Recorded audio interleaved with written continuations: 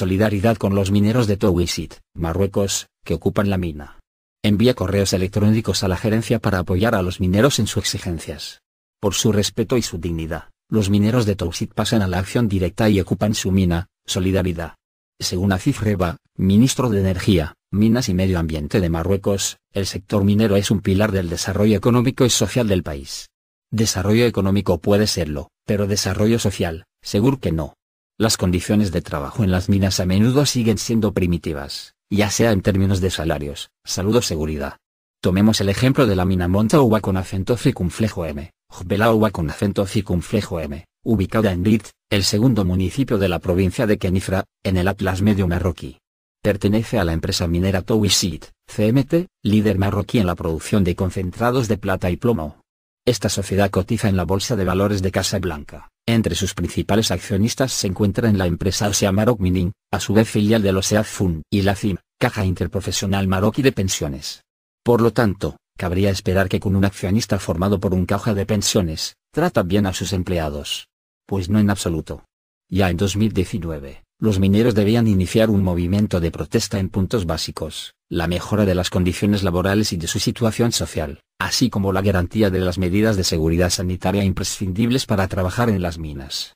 Los sindicatos se habían apresurado a supervisar el movimiento y habían negociado un protocolo con la dirección que finalmente debería tener en cuenta la salud y las condiciones laborales de los mineros.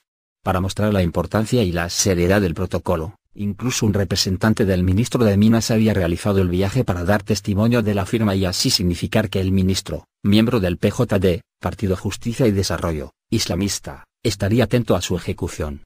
Por supuesto, a cambio, los empleados tenían que comprometerse a aumentar mucho su productividad y lograr metas de producción más altas. Los empresarios nunca dan nada gratis, siempre buscan incrementar sus ganancias y por ende nuestra explotación. Un año después del acuerdo del sindicato con el patrón, los trabajadores hicieron sus cuentas, cumplieron su palabra y alcanzaron el 98% de los objetivos de producción marcados en el protocolo, a pesar de un año 2020 complicado por la crisis de COVID. Por el lado del patrón, es muy simple, nada. No puso en práctica lo que dijo que haría. Punto. Entonces, el 10 de diciembre de 2020, los mineros dijeron basta y pasaron a la acción directa. Ocuparon su herramienta de trabajo para presionar al patrón, 100 mineros en huelga retuvieron la mina, 700 metros bajo tierra. Y otros 200 quedaron en la superficie, alternando manifestaciones y sentadas de solidaridad para popularizar la huelga y también para organizar la logística y el aprovisionamiento de los ocupantes. Porque el despotismo y la terquedad de la administración han crecido hasta el punto de prohibir el suministro de alimentos y el sustento de los mineros que realizan la sentada en el fondo de la mina. Por supuesto esta situación era insoportable para los sindicatos, el incumplimiento del protocolo por parte del patrón cuando los trabajadores habían trabajado más, muestra claramente la inutilidad, e incluso la perversidad, de estas negociaciones sindicato-patrón. El hecho de que los trabajadores decidieran actuar directamente ocupando su lugar de trabajo, para presionarlos, podría ser un mal ejemplo para otros trabajadores si su lucha tiene éxito, es decir, la de autoorganizarse en sin sindicatos reformistas.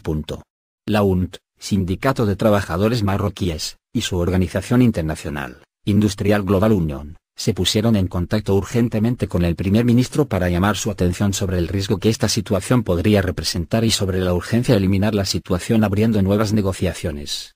El mensaje fue bien recibido ya que ni uno ni dos, fue Milou Dimokarik, el secretario general de la UNT, quien vino en persona a discutir con el director de la mina.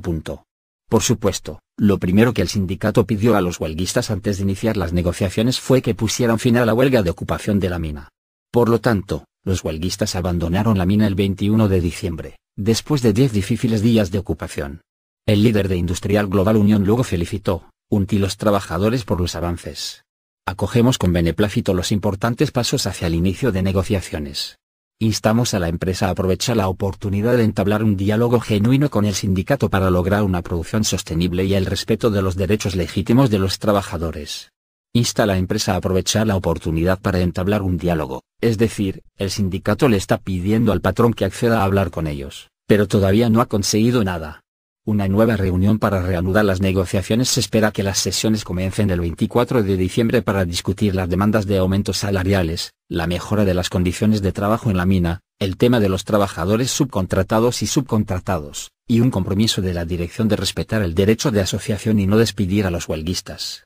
Los mineros han demostrado una valentía y una fuerza ejemplares al ocupar su mina 700 metros bajo tierra, en condiciones peligrosas para su salud. Ojalá no vuelvan a ser traicionados por los sindicatos en las negociaciones. Mientras tanto, démosles todo el apoyo posible. Por ejemplo, enviando correos electrónicos a la dirección de la CMT para exigir, guion respeto y dignidad a los mineros, que son los únicos creadores de riqueza en la CMT. Salarios dignos que permitan ganarse la vida, para todos los empleados, sea cual sea su situación. Condiciones de trabajo dignas, de acuerdo con las normas internacionales para la seguridad de los trabajadores y el medio ambiente. Respeto a la libertad de asociación y expresión, así como al derecho de huelga, compañeros solidarios a ambos lados del Mediterráneo para contactar con la dirección de la empresa, fax, más 212, 0, 522 78 68 71 correo electrónico, siege.cmt.cmt.ma teléfono, más 212, 0, 661 31 32 95, 0, 522 78 68 61.